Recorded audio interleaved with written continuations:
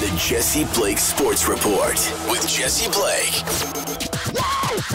Welcome to the Jesse Blake Sports Report. Whether it is your first time here or your last time here or somewhere in between, I appreciate that you are here right now to discuss the bombshell news that the NHL world received today when it was announced that Shane Pinto will be suspended for 41 games, half an NHL season, for violating the NHL's gambling policy. There's a lot of details to parse through here, so let's get to it. First of all, Shane Pinto himself, he was sitting out from the Ottawa Senators. He was not under contract, but he is not a UFA and he's not an RFA. He's a special designation called a 10.2 player. It's technically 10.2 bracket C player according to CapFriendly, and that means that he's not eligible to be offer sheeted. You may be familiar with RFA designation, where a player can be offer sheeted if they don't sign a contract by December 1st, they're not able to play the rest of the season. Shane Pinto is in this weird little area where he's a 10.2 player, meaning he's only eligible to sign a contract with the Ottawa Senators.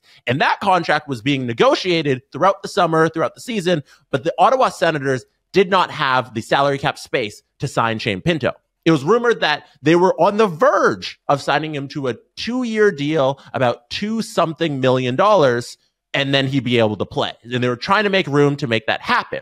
But then this whole thing happened. This investigation into Shane Pinto violating the NHL's gambling policy. And it started during the summer. This investigation started during the summer after the NHL was alerted by one of their third party gambling partners that Shane Pinto's account on one of these gambling platforms had mysterious activity. And I'll I'll spoil the end for you. We'll we'll Quentin Tarantino this film and I'll give you the end right now. We don't know why Shane Pinto was suspended. But we do know that it is not for betting on hockey. We just don't know the details as to what he violated under the NHL gambling policy. We can draw conclusions based on, I'll read you some of the policy and all that, but we don't know what specifically he did to get suspended. So back to the investigation, and the negotiation. So the investigation starts during the summer after the NHL is alerted that there's mysterious activity on one of Shane Pinto's accounts. Negotiations between Pierre Dorion and Shane Pinto's agent are then pulled back as the investigation progressed and got more serious in the last couple weeks. And that two-year deal that Shane Pinto was was being offered and that was on the table to bring him back to the Ottawa Senators was retracted. And now it looks like Shane Pinto will just accept whatever qualifying offer is given by the Ottawa Senators. And once his 41 game suspension is over, he'll be back in the organization full time under this qualifying offer. And that two year deal, it'll probably be a one year deal for a million bucks. And that's all Shane Pinto's going to get. So the details of the suspension, there are plenty, and I'm going to do a lot of reading. This was the statement from the NHL upon the announcement of Shane Pinto's suspension. The National Hockey League announced today that it has suspended NHL player Shane Pinto for 41 games for activities related to sports wagering. The league's investigation found no evidence that Pinto made any wagers on NHL games. The NHL considers this matter closed, absent from the emergence of new information, and will have no further comment. So as you can see by the NHL statement, they did their due diligence. They found whatever evidence that they are not revealing to us, and they have decided to suspend Shane Pinto for 41 games. Shane Pinto is the NHL's first player to be suspended under the NHL's gambling policy. And if you look into the gambling policy, it reads that NHL Commissioner Gary Bettman is authorized to discipline individuals determined to have engaged in improper gambling activities in any or all of the following respects expulsion or suspension or canceling of any contract that any individual may have, uh, or imposing a fine. The league will act swiftly and aggressively in penalizing any club or club personnel determined to have engaged in acts in violation of the NHL gambling policy. We have a clear distinction that Shane Pinto did something that the NHL deems improper gambling activities. Those are that is the universe that the NHL is allowed to suspend clubs or club personnel under. Shane Pinto violated that, and that is why he's suspended. So the Ottawa Senators also released a statement. They said, We were made aware of the National Hockey League investigation into this matter and additional information was made available to the club upon the completion of the league's investigation yesterday. Shane is a valued member of our hockey club, an engaging, intelligent young man who made poor decisions that have resulted in a suspension by the National Hockey League. We know he is remorseful for his mistakes. The Ottawa Senators fully support the NHL's rules on gambling. While saddened to learn of this issue, the entire organization remains committed to Shane and will work together to do what is necessary to help provide the support to allow him to address his issues and become a strong contributor to our community. When the time is right and with the league's blessing, we will welcome him back to the organization and embrace him as one of our own.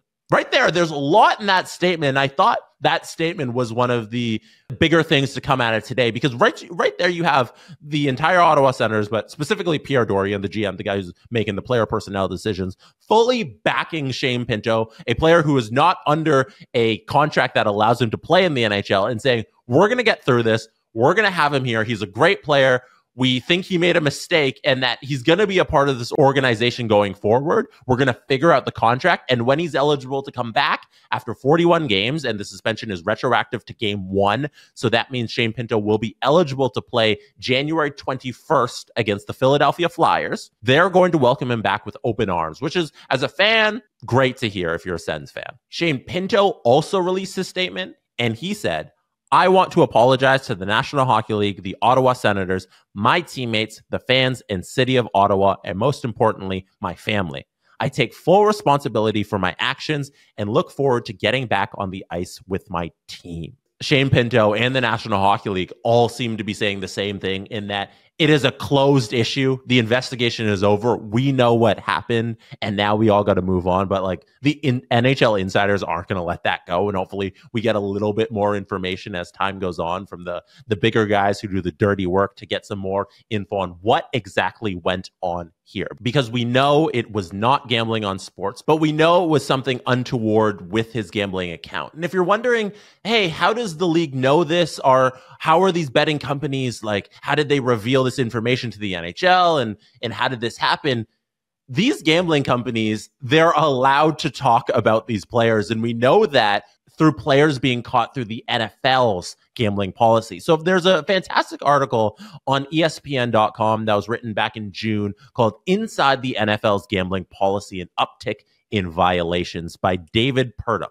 And David outlines how there are third party companies who can track gambling habits, geolocation data, and everything about your personal information on these gambling accounts so that they can alert untoward activities. And they have partnerships with the NFL and the MLB and the NBA to let them know, hey, X player is gambling at X facility, which is against our rules. X player has bet on X game, which they are not allowed to do. And when these players sign up for these accounts, they are agreeing that they can be tracked, that these third party companies are privy to their information. And if they break the rules, these third party companies will alert the league. So what we have here is one of the third party companies. We don't know if it's a gambling partner directly or a third party company that's involved in keeping in making sure that players do not violate policies. But one of them identified something strange and told the NHL. And that's how NFL players who make bets in locker rooms, they are not allowed to do that. Their phones being geolocated and tracked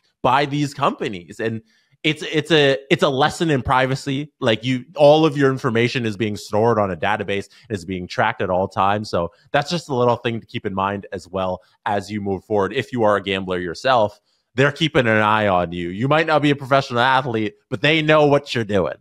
It'll be interesting to see as i mentioned how this story grows and unfolds. It's so fresh right now and uh, I think Shane Pinto is going to be a great player in the long term for the Ottawa Senators. And I'm happy that they're supporting him through this. And he's going to play at some point this season. And what is it going to be like when he hits the ice? What's that side of this story going to be like? And it's going to be one that's not done today.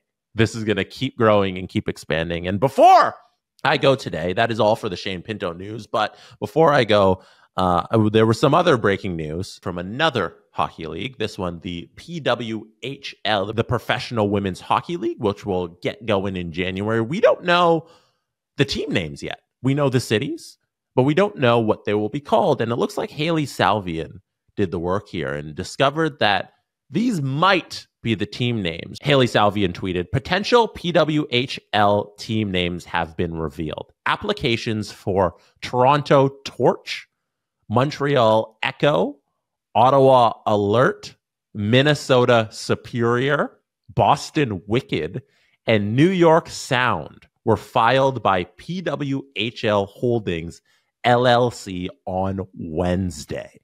On initial reading, I'm a little underwhelmed.